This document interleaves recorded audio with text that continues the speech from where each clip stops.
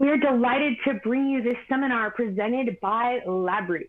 Welcome everyone and thank you for joining today's keynote presentation titled Pattern Evidence Reconstruction. It's my pleasure to introduce you to our speaker today, Dr. Henry Lee, Akai Professor, University of New Haven Chief Emeritus, Connecticut State Police Director, and of the Research and Training Center.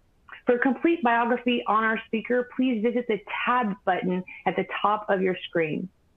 If you have any questions that arise during the presentation, we encourage you to submit your answers, I mean, I'm sorry, your questions in the Q&A box. Our speaker will address your questions following the presentation. As a reminder, this presentation is educational and offers free continuing education credits. Click on the Continuing Education Credits tab located at the top right corner of your presentation window and follow the process to obtain those credits. Please join me now in welcoming our keynote presenter, Dr. Henry Lee. I will now turn the presentation over to him. Welcome, sir. Uh, good morning, everybody. Today, we're going to talk about pattern as evidence. As you probably know, the criminal investigation at the crime scene, forensic scientist, police officer, detective will often go through the central dogma of a, a forensic examination. Forensic science is a little bit different than uh, other scientific fields such as chemistry, biology, molecular biology, immunology, or even medicine. We separate our work in three stages. The first stage called scene processing. Scene processing start recognition. We'll have to recognize the potential evidence. Not everything at the crime scene is physical evidence. So recognition is the first step. Once you recognize this potential evidence, you have to document, preserve, and collect.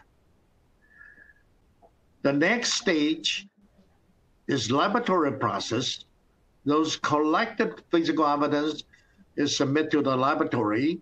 We through identification, comparison, and with instrumental, biological, physical, other type of uh, examination, comparison, then individualize that particular evidence. From there, the third stage of uh, is court processing. We have to transmit our report with the documentation to the court of the law, either through the prosecution prosecutor or the defense the defense attorney into the court. Once the evidence introduced the court, will have to testify. And we not only testify our result, but also make interpretation and reconstruction. Physical evidence come from all different forms. There are so many different ways to classify the physical evidence. I generally put into the following seven categories. Transient evidence, which means something can change quickly. Pattern evidence is what we're going to address today. Then conditional evidence, transfer evidence, associated evidence, uh, electronic evidence, and medical evidence. Last lecture, we already covered all those, but today we're going to talk about pattern evidence. What we're going to do today, we're going to talk about what is pattern evidence. How is it involved? In crime scene. What type of pattern evidence can be found at the crime scene? And where to find it? How to find it? How is it collected? how it should be handled and preserved. How is it examined? And uh, what's the evidential value of those pattern evidence in an investigation? And the last, we're going to cover pattern evidence reconstruction. What is evidence, pattern evidence? There are so many books, paper published, give all different meanings, definitions, procedures. Pattern evidence generally created from different objects when they have a physical contact with a surface to surface and leave behind some imprint, impression, indentation. Evidence, pattern evidence can be visible or latent. May find a variety type of object and surface. There are guidelines from NIST and OSAC. So the examination of those physical evidence should follow the national guideline.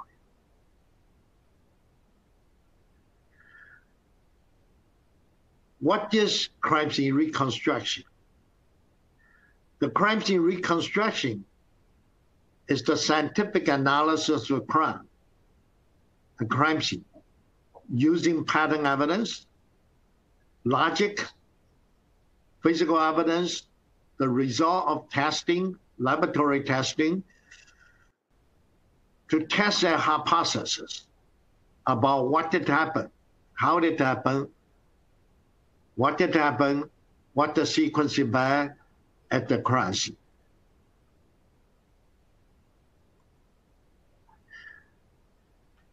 Crime scene reconstruction, usually we need the following. Laboratory result of physical evidence, scientific analysis and observation of the crime scene, recognition and interpretation of the pattern evidence at the scene, then systematic study of any other related information, uh, utilize the big data, develop a logic hypothesis. Then we use scientific result to test those hypotheses until we come up with a viable theory. That's called crime scene reconstruction. Here is an example. I was called to the scene at the noon time. Initially, it looks like a traffic accident. However, the crime scene pattern indicates is inconsistent with a typical traffic accident. A car, vehicle in the middle of the parkway, victim's body found next to the vehicle with his pants down. Of course, that's against the common sense. How many drivers drive a car with pants down. In addition, we noticed victim was shot twice behind the head. There are two bullet holes from the windshield. We saw those pattern indicate to us this vehicle probably have three occupants the victim more likely is sitting in a front driver's seat. The shooter is from the behind in the back seat based on the trajectory. So just look at the pattern. We already developed a hypothesis. It's more likely it's a homicide. It's not a uh, traffic accident two suspects, more likely in the woods, are uh, left the scene already. So with that, we start look at it, the pattern evidence. Usually, where can we find those? Impression made in soft material or a surface, such as soil, sand, snow at the sea. Indentation or damage made by force onto a surface. Imprint made by dirt, dust, soil, deposit on a flat, flat and hard surface. Impression made by object with the dust or wet, wax, greasy surface. Imprint made by transfer of blood, body fluid, ink, or grease like a material, a ink like material. For example, an outdoor crime scene. A investigator, some step on a soil surface, some step on a concrete surface, other on the grass. Each of them left some imprint, impression, or indentation. Another example, the breaking robbery case, we look at the glass, the fragment, and uh, fracture mark that tell us the direction of the force, the type of material used to break the window.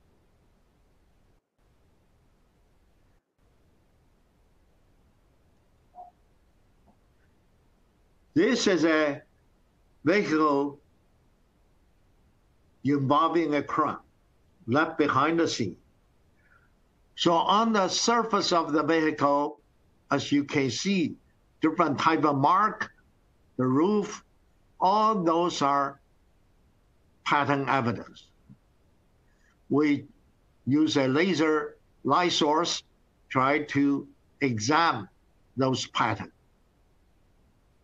Pattern evidence can also found on another piece of physical evidence.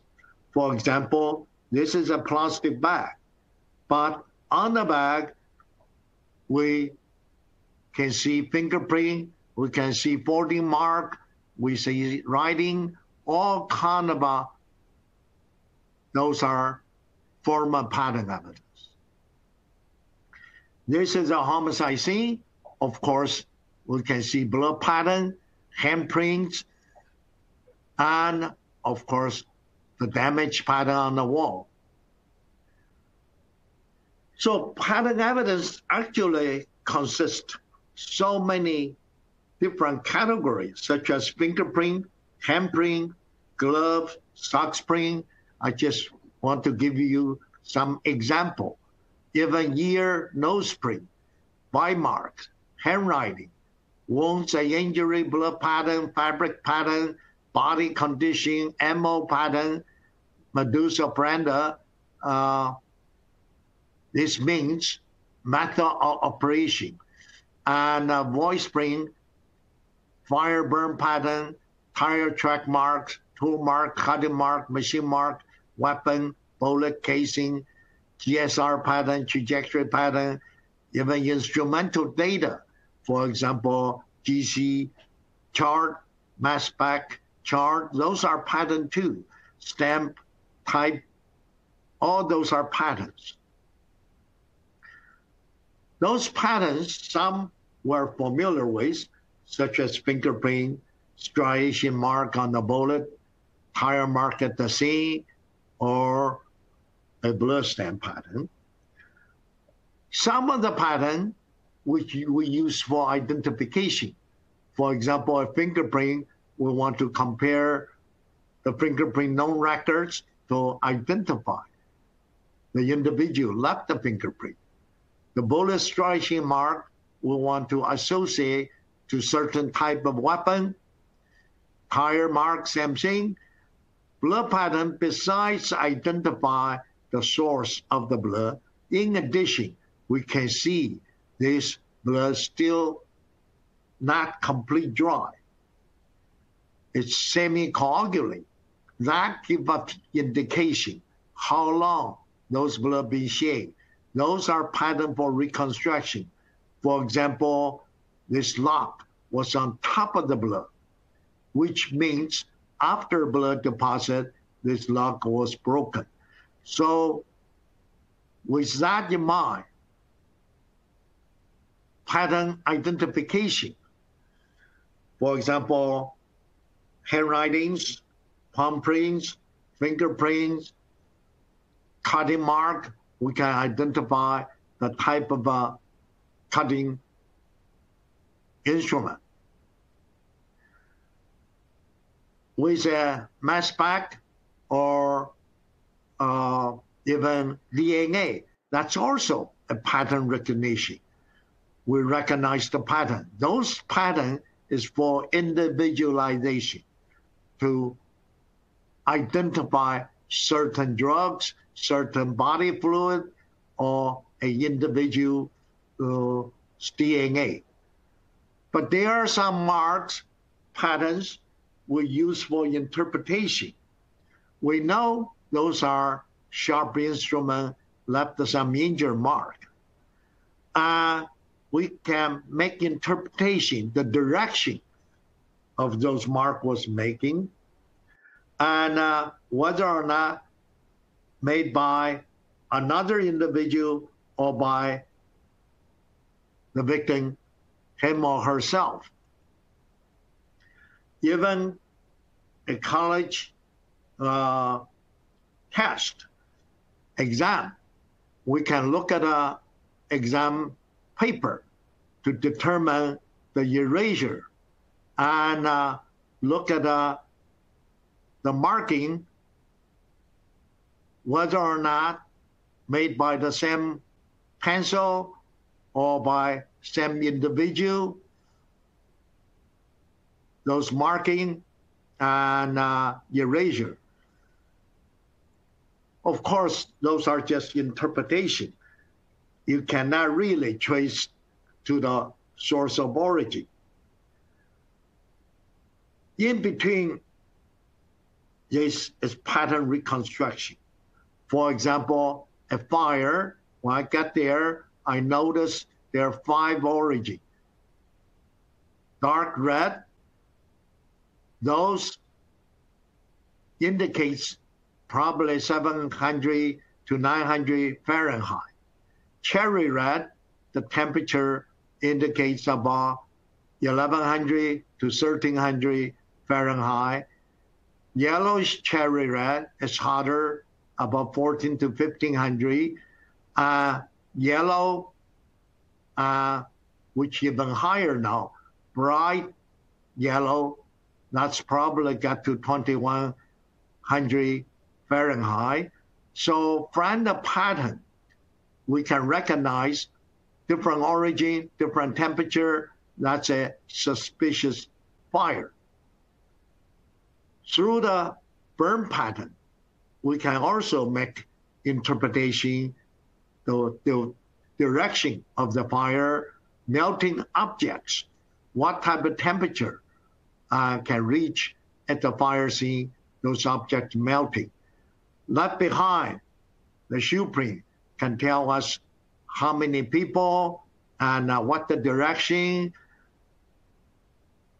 Here another example of a homicide scene the blood pattern, the deposit of the towel, and uh, the blood floating pattern, and no blood at the west um, west basket, um, blood smear on the countertop.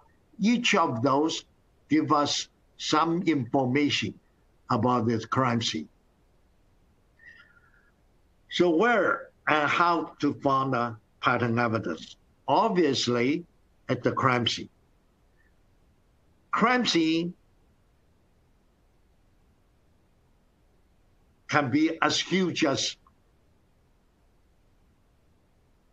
the whole airport or a whole house, can be as small as a piece of hair or fingernail, have pollen particles. So how and where we can find the evidence? Before we talk about how to find the evidence, we want to know something called linkage theory. In late 18th century, we all know something called Locard's transfer theory. Locard is a well-known forensic scientist.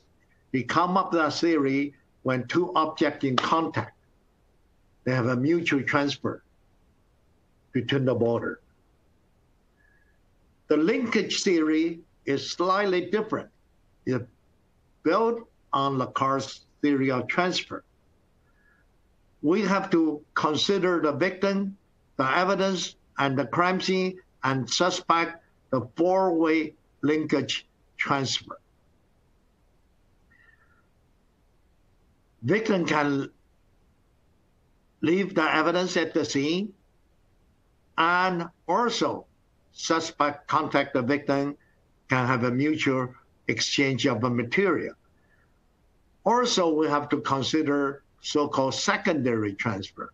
Even no direct contact may have transfer too.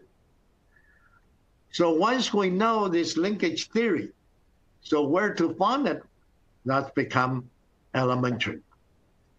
Of course, at the crime scene, the point of entry, point of exit, pass to target area, to target, to target area, we can find pattern evidence of physical evidence, such as object, clothing, tools, locks, door, window, safe, we can find a body. Later, I will give you some example on somebody, victim's hand, suspect's hand.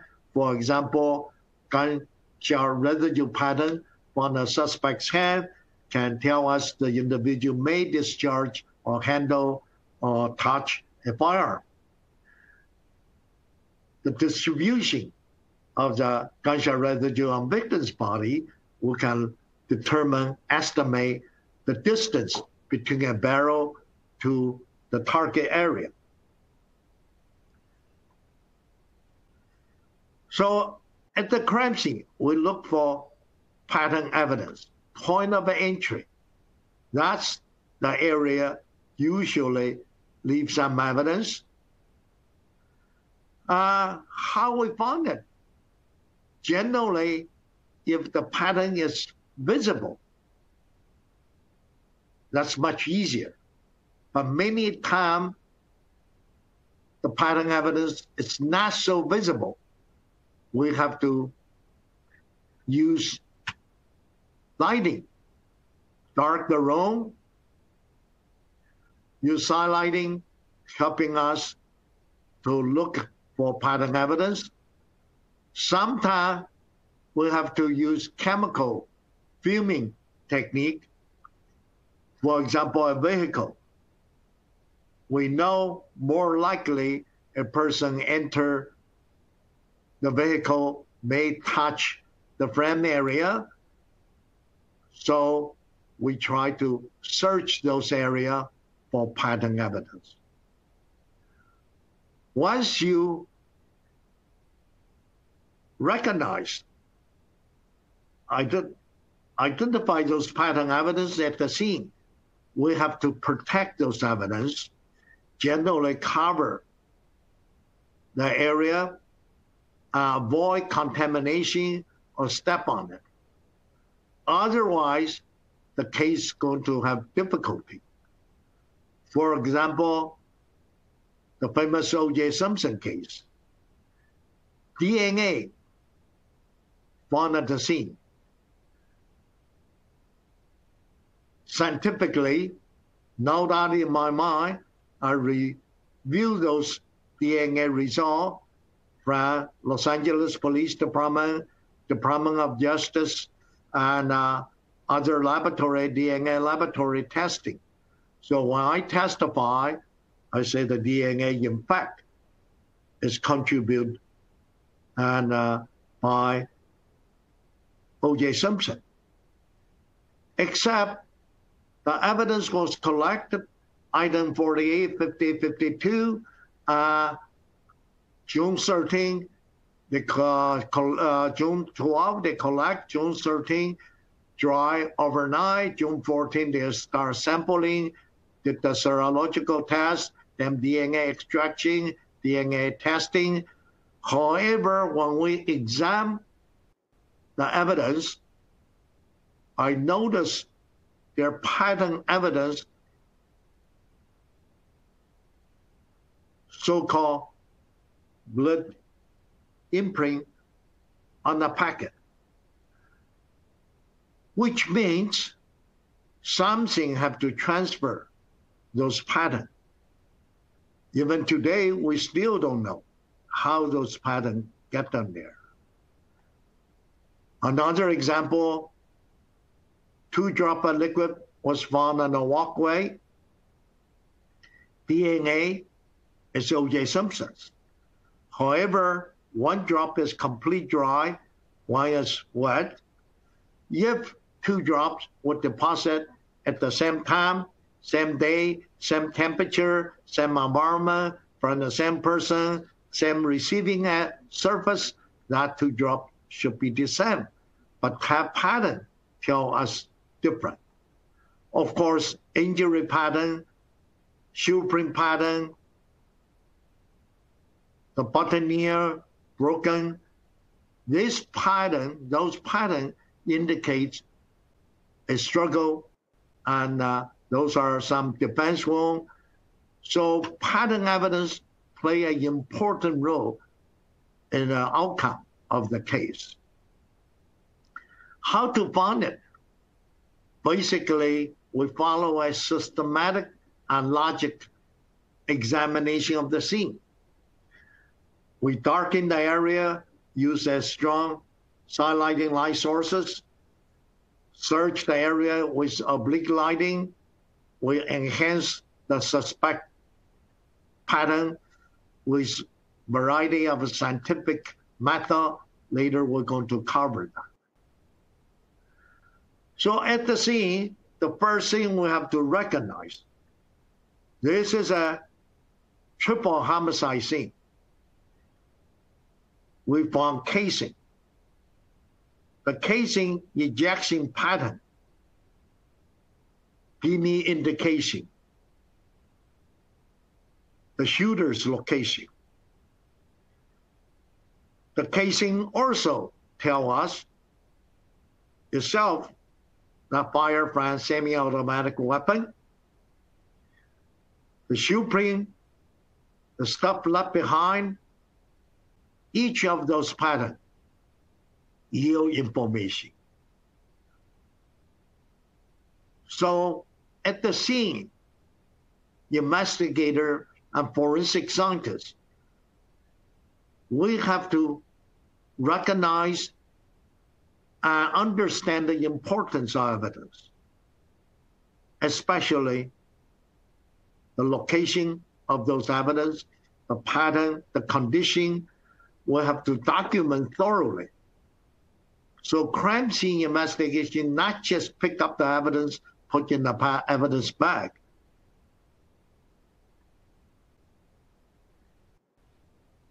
We have to photograph, document those pattern evidence. We generally start with an overall view. Then we should photograph the evidence with scale, then take close-up photograph. We also have to take measurement, sketch, and documentation. Uh, we should follow the guideline. Documentation, generally, with an overall view, then move to a closer uh, specific area, then we photograph with scale. Once we finish the initial documentation, then we have to look at uh, the close-up and uh, document those imprint evidence, we say implant, uh, use different photographic technique, can be direct lighting, reflect lighting, bounce light, or side lighting. Uh, this can be covered in a different lecture. So crime scene photograph, as I indicate before, start with overall view, then intervene media, then close up, and photo with scale, then evidence photo. Always have to do the sketch, sketch and notes and videotaping. Enhancement of the pattern can be photographic method, use oblique lighting, UV light, alternative light source, then use powder dusting or chemical reagent or a combination uh, with a newer procedure, we can also do image enhancement. That's an example of side lighting, UV lighting. Now have so many different light sources we can use at the crime scene, can helping us discover those patterns and uh, document those patterns. A hit and run case vehicle. When we examine the vehicle, we notice some damage on the headlight area. But very important is this area, we found a fabric pattern. That's victim's pants. So although we cannot say definitively from that pants, but that gives us the similar wave pattern, similar measurement that could have resolved from the victim's pants.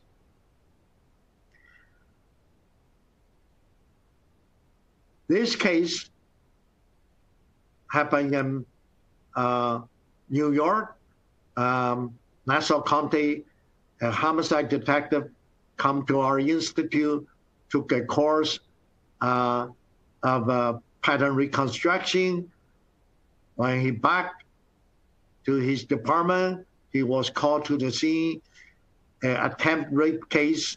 That's a female college suspect apparently entered a, a shower room through the window. That's a shower stall.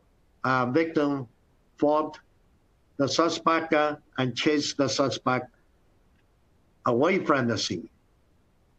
Uh, Detective Wing used the alternative light source uh, was able to discover this shoeprint pattern. From that, he was able to link one of the worker work in a college and solve the case. With the initial photograph, visible light, very difficult to see the pattern. With the side lighting, uh, UV enhancement, then you can discover that. There's so many different enhancement reagents. Review of the literature,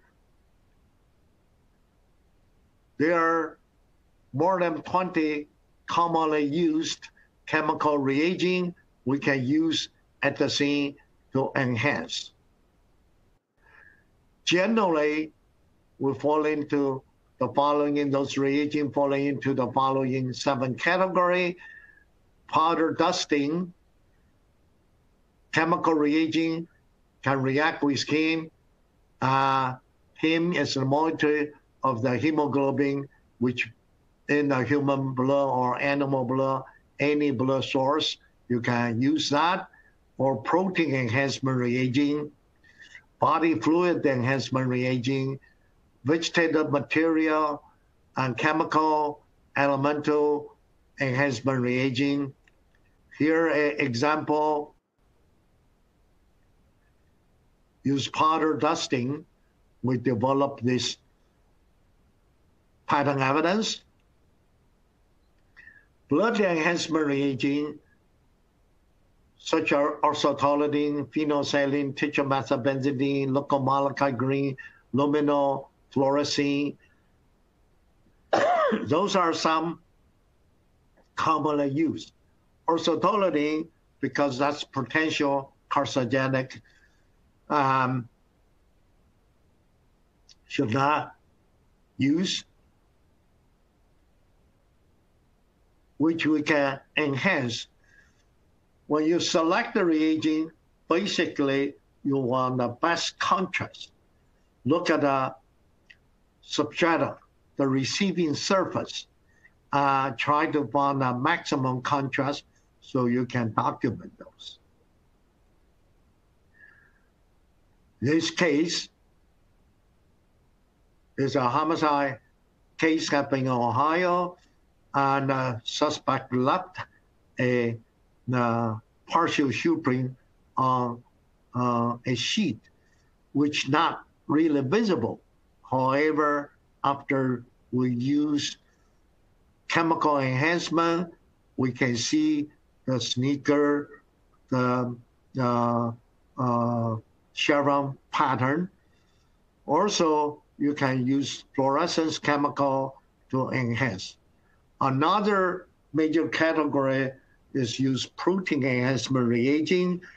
From colors reagent react with amino acid or protein become a color compound.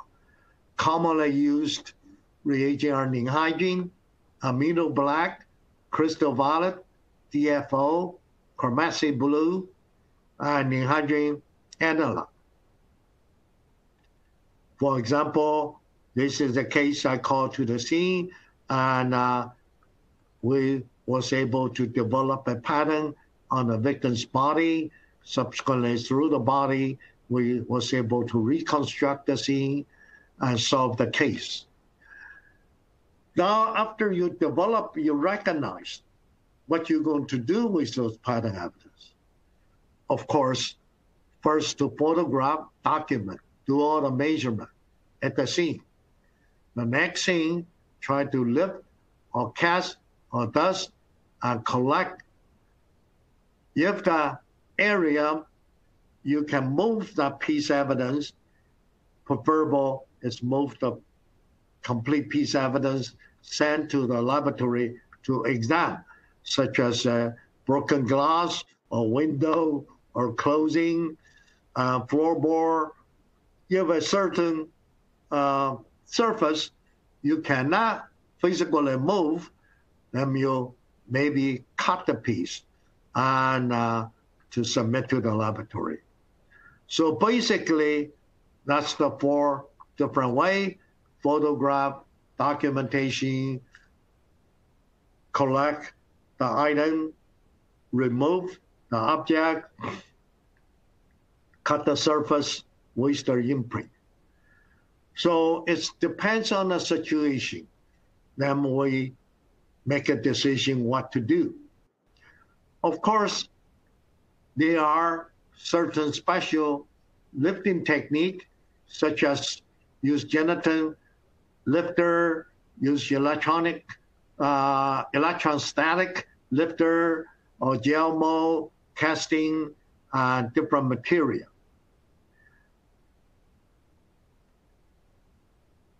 Now, once you lift the evidence or cut the evidence or submit the evidence, how you preserve a handle.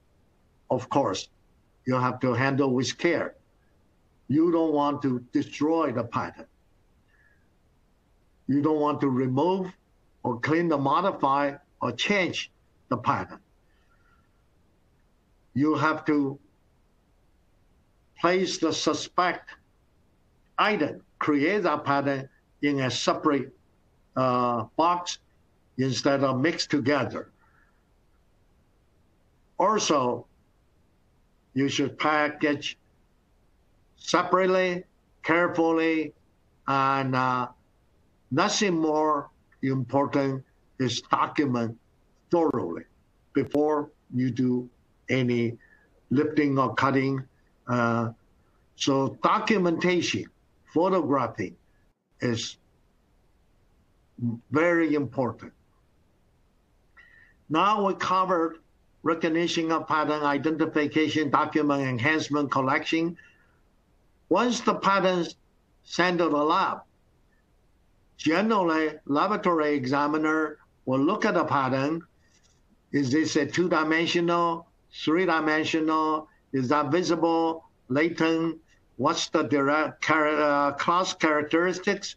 What's the individual characteristic? If you leave in a flat surface, generally we say that's a two-dimensional. You start with not visible after we enhance become a visible piece of evidence. In addition, we also notice there sequence, two type of a pattern deposit on top of other. At the scene, you can also find three-dimensional evidence. Uh, you should photograph, document, and make a casting. Don't put your, your tool directly into imprint, impression area to try to fit that. Not going to cause the contamination. So pattern evidence doesn't matter imprint or impression. It can be deposited by human, such as fingerprint, footprint, lip print, ear print, handwriting. Can be animal or vehicle, clothing. I should have a G here, and uh, objects, such as tool mark, bullet, typewriting pattern. Even on human body, we often find pattern evidence. I'm sure you probably have an idea what kind of pattern. Um, I'm sure most of you think that cigarette burn. Actually, you look at the size and uh, pattern, not actually a cigarette burn. Anybody have any idea what kind of pattern? Later you can ask me if you don't know. The next one the next one, of course, that's a bite mark. Bite mark before you do anything, you should photograph and uh, document and collect saliva and DNA evidence.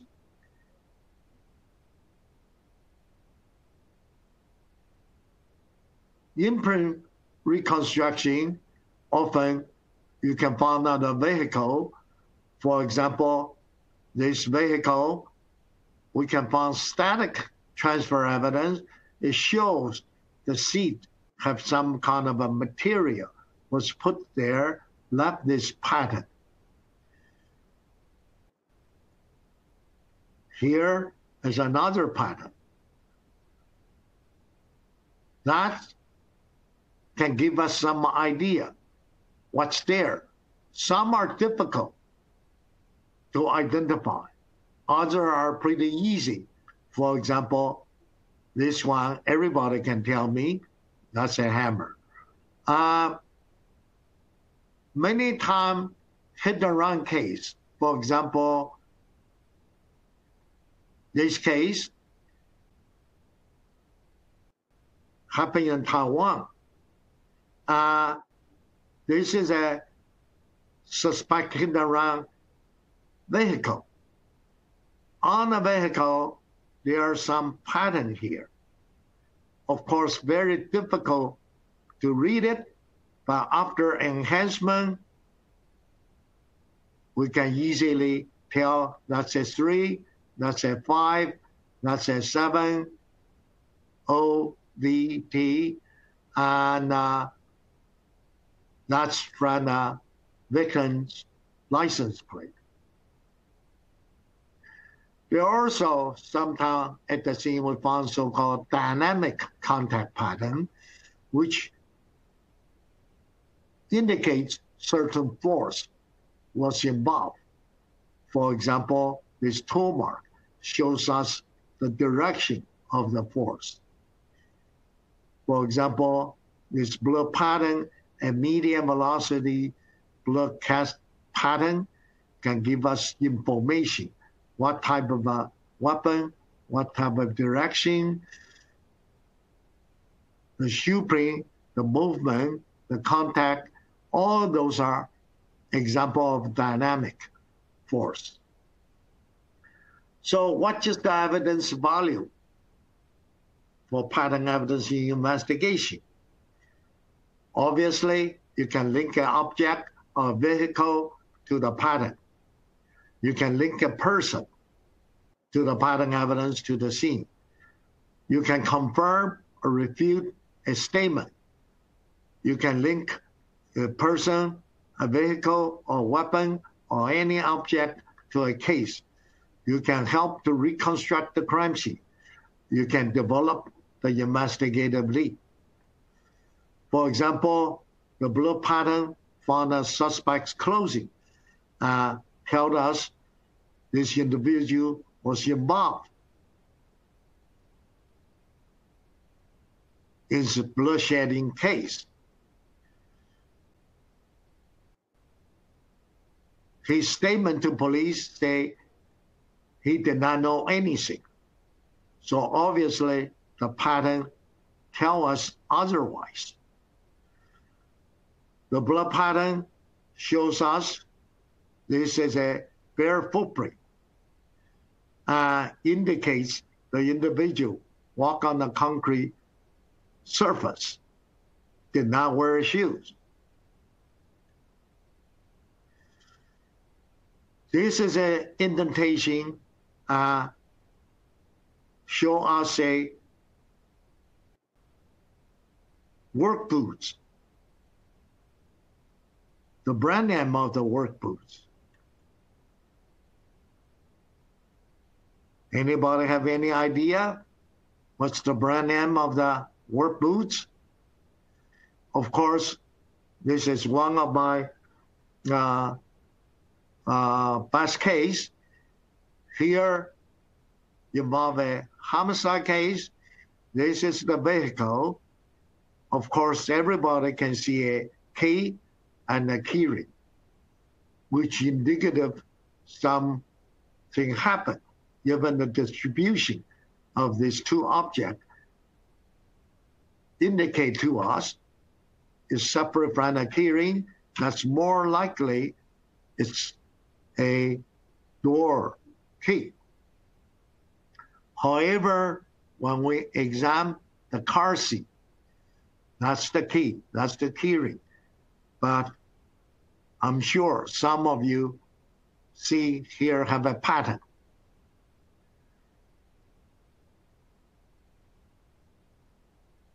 That's the pattern, which indicative the key was initially was here somebody sit on the seat and uh, the key adhere to the pants, deposit to here, and this is the original location. So pattern evidence can really helping us to reconstruct. For example, this is a, another uh, Connecticut tragedy. Uh, a truck hit a police officer and took off at the Highway I-84. Uh, the investigators stopped all the vehicle. I was called to the scene. This is a, one of the vehicle stop their truck. Under 160, we see a pattern. Usually hit and run case, we look for blood, hair, tissue, fabric. But this area did not find any blood, hair, tissue, and fabric. Under side lighting, we see this pattern, but not visible. Use chemical fuming. Lighting, we develop a trooper's shoulder patch. That's the victim's shirt. So with a single piece of pattern evidence, we was able to link the suspected vehicle to the victim and determine the sequence event and reconstruct the case.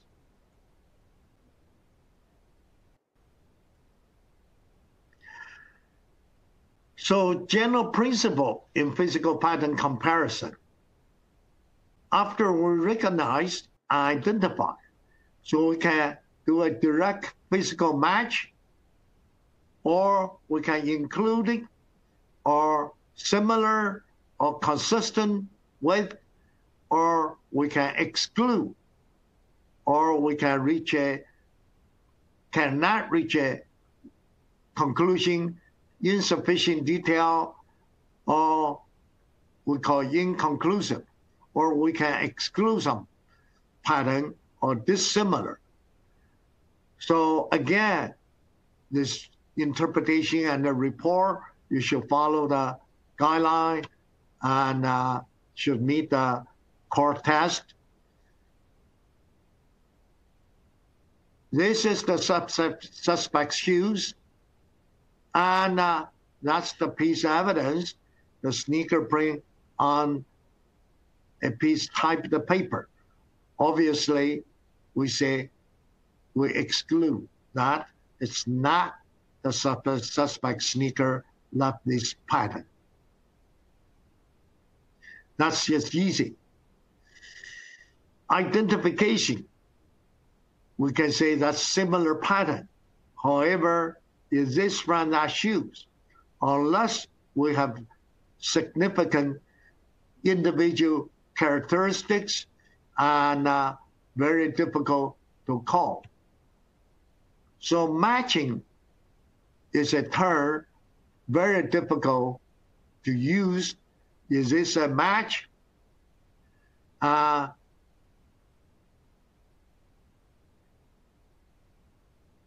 of course, the striation, the inclusion, the mark, it shows that code from the same origin. Except now course sometimes require statistical information, error rate, uh, many type of pattern evidence we cannot produce. Uh, for example, that trooper's shoulder patch found on the truck in my whole career, we only have one case. I cannot really say statistically how likely that will produce. Reconstruction is the ultimate goal for pattern evidence. So at the crime scene, if we can reconstruct, that can give the investigator a lot of investigative lead and value. What type of reconstruction we can do with uh, pattern evidence? We can look at the location of the pattern. We can look at the condition of the evidence, amount of evidence, distribution of the evidence, the sequence, whether or not those con are contaminated or altered. We can identify, we can interpret it. For example, we can determine how many tire track. Uh, obviously, we can see two. This is on top of this, and uh, so you know two different vehicle left them. There are also some other patterns. So at the scene, those patterns we can study, uh, provide investigator some valuable clue. For example, the vehicle made a turn, the direction, and uh, of course, if the pattern have sufficient individual and class characteristic, then you can link the object. Many times, the pattern evidence can help us to eliminate certain thing or to include certain individuals. This is a case happening in Hawaii um, for uh, college student on spring break. Somehow the vehicle, as you can see, left a mark, lost the control, uh, down the cliff, caused a fire, and uh, four body was commingled. Victim was identified through dental chart and DNA. That's the easy part. However, later become a major litigation. Who is the driver? Uh, this is one of the victim's shoes. Underneath of the shoes, as you can see the pattern. Uh, that's the brake mark. So we know this individual have a contact with this brake, left this mark. Often at the scene, we also can tell how many people. For example, this scene, we see two type of shoe print. So tell us at least two individuals were involved. Also, the pattern can give us indication what the size of these shoes, uh, what's the possible height, what's the possible brand, name of the shoes. This case, victim's body was found on the kitchen floor. Of course, the blood smear pattern indicates us the crime scene was altered, which suggests the suspect tried to clean up the scene. The blood pattern evidence predominated on the top of the her garment, and uh, which indicative she was on the ground. and stabbing occurred. Uh, there are also some uh, blood smear, blood imprint. We was able to enhance at the scene, not give us the partial shoe print. That's a close up for the shoe print. And uh, of course, through the data analysis, we was able to identify the type of shoes and subsequently the investigator was able to link the suspect, not only from the pattern evidence, also the trace evidence, uh, the blood stamp, DNA on suspect shoes, and the pattern evidence, of course, that's the area enhanced, that's the ink print, that's the suspect's use. So basically, use pattern evidence, link the case, and uh, use DNA and uh, link the suspect. We can do event reconstruction. For example, this is another crime scene. We have a tremendous blood uh, at the scene, victim's body.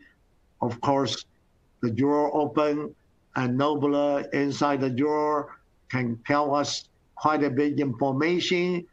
Um, on downstairs kitchen floor, we found some pattern. After enhanced, we know suspect uh, a work boots and uh, walk around the scene. Was sub- subsequently the case was solved. This case happened in Florida. And uh,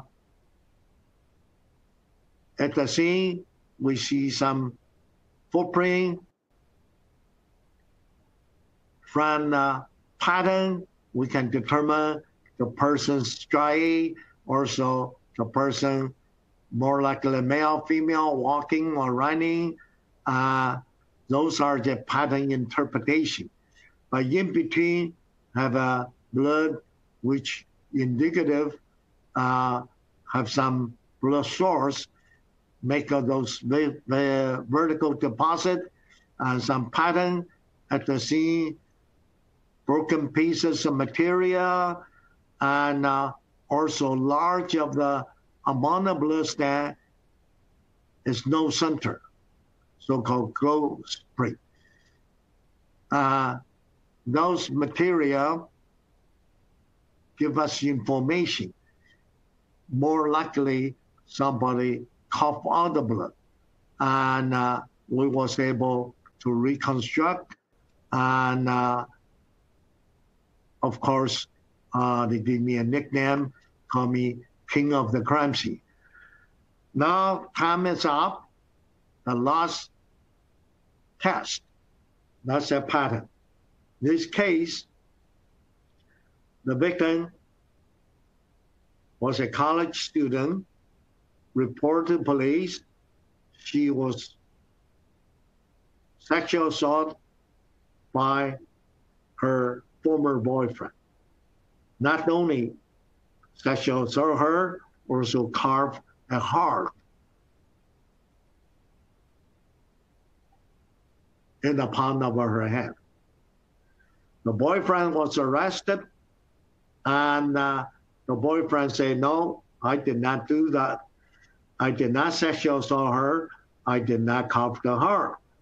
Uh, she is crazy about me. She want me to marry her. I refuse. She did herself. This pattern helping us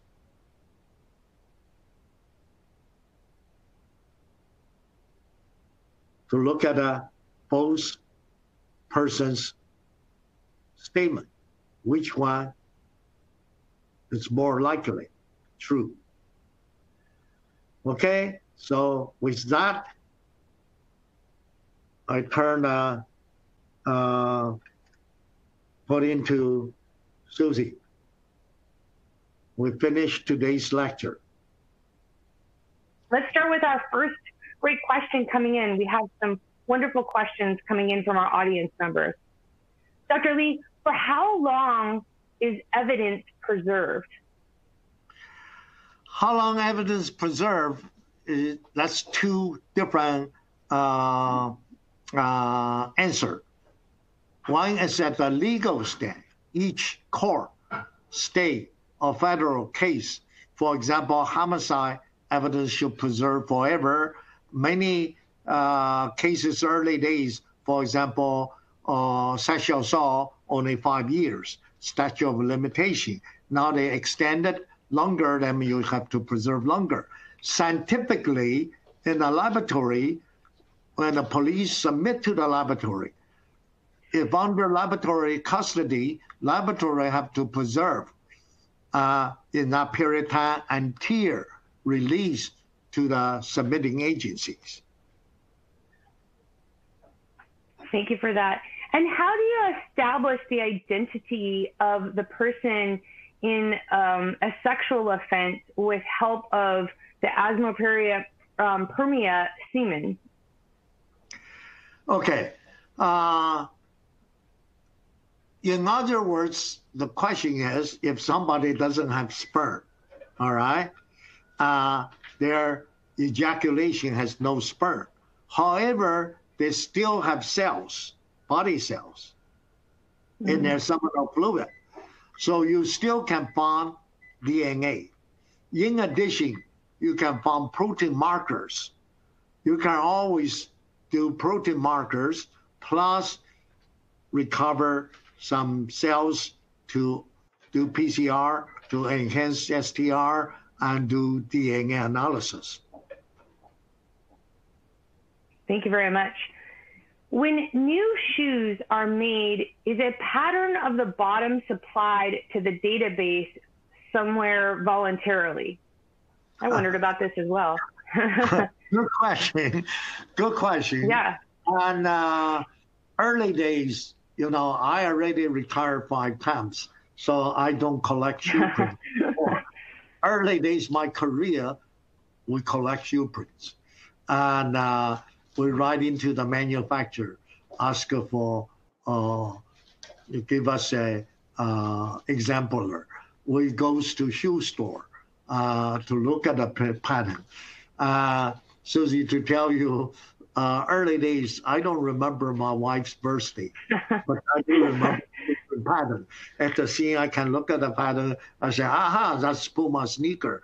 And uh, of course, today have big database. A lot of commercial uh, company they uh, have this database available. A lot of laboratory and different country all have database. So hopefully someday, I don't know, maybe they already exist, have a world big database so everybody can use that. That would be great, huh? Dr. Lee, what was the pattern on slide 85? Slide 85.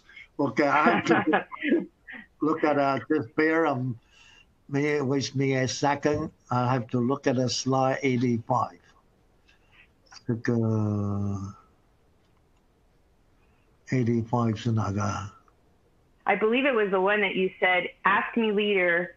It had the two marks, uh, the small marks that we uh, misinterpreted as cigarette burns. Ah, and you said, Ask Me Later. Ah, yes. that's 84. This is 85. Okay. Okay. Uh, that's a good question. What kind of mark? Uh,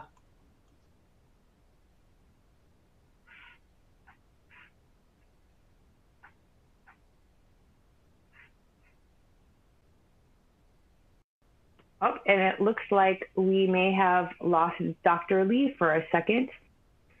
Um, I'm sure that he will be right back. we apologize for that. Sometimes we have these little moments of errors in technology. I am sure this happens all over the world, and each of you have experienced this in the past. So we all apologize. Right. Okay. Here he is. Okay. This is a sucking mark. It's not the teeth mm. mark. It's a mouse. Contact the surface. Interesting. Yeah, very interesting and, mark. And thank you for that. And again, audience members, thank you for your great questions coming in. Dr. Lee, what is the most common manipulation of evidence that forensics would encounter? Can you ask again? What's the most common? What is the most common manipulation of evidence that you forensics mean, would encounter? You mean somebody else manipulate the evidence, or? I believe that's yes. I believe that's what they're asking. Okay, most of the time people try to add some more, uh, or try to remove. For mm-hmm. example, cleaning washing, uh, destroy the evidence. Many times they threw in some curveball. For example, we do have a case somebody wear somebody else's shoes, left some uh, shoe print at the scene. Or, uh, of course, uh, many times they put the different people's clothing and uh, trace evidence at the scene. Thank you for that. And Dr. Lee, how do you process latent fingerprints on concrete surface? That's the first part of the question. And which method is most useful for developing latent um, fingerprint finger marks on such surfaces? Uh, what surfaces? Second portion. On the concrete surfaces. Okay concrete surfaces depends on the concrete. Uh, if a rough surface, you cannot find a readable fingerprint, usable fingerprint.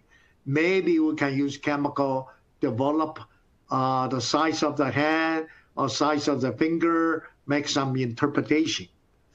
Uh, if a smooth surface, generally we can use fingerprint powder or use cyanide fuming to develop the pattern.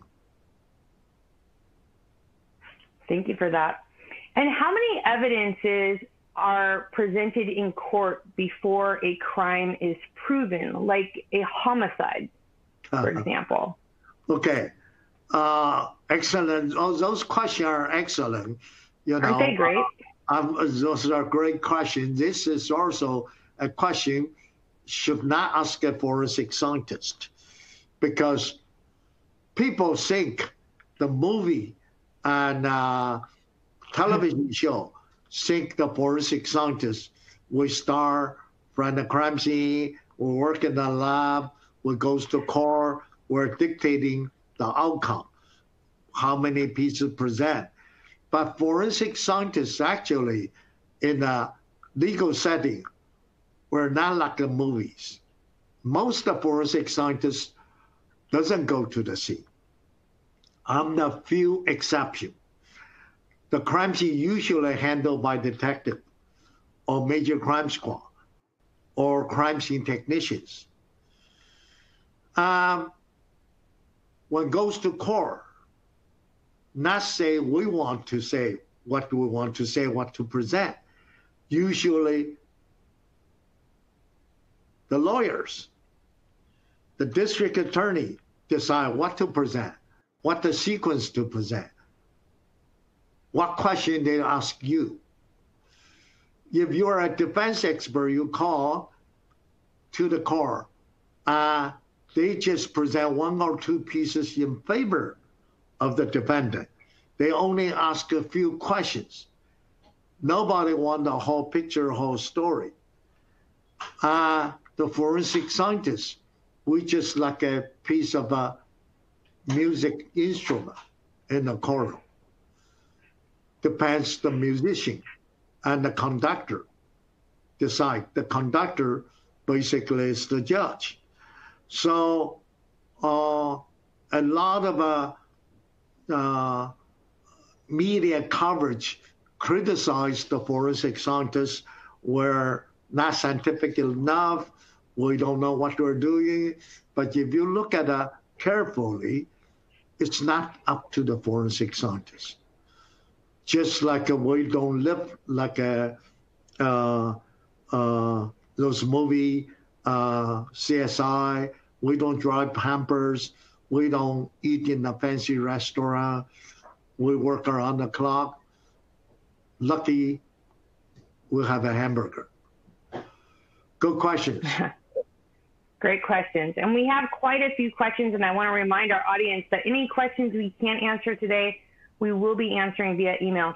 Dr. Lee, are you up for a couple more? I think uh, we're already over time. Okay. How about uh, one more question then? Okay, one last question. Okay. I'll, I'll ask you this one. I know you won't be able to have time to talk about it, but what was the hardest case you've had to solve? Uh, that's basically case without information. In other words, we're not called to the scene, nor the physical evidence will collect. You're basically one person's statement versus another statement, you don't have any other direct physical evidence. Those are difficult to solve. I can give you a lot of example, but some other time when we uh-huh. maybe feature to have a uh, unsolvable homicide or something. Okay, I want to again Thank you, Susan. Thank you, Taylor, Lane, and uh, LabRoot. The most importantly, thank you all, all those uh, audience. Thank you for uh, listen to my talk, and uh, I wish you all stay safe, healthy, and uh, when you go out, make sure put the mask on. Okay. Uh, now I have to leave, so I put my mask on now. Thank you again. Dr. Lee.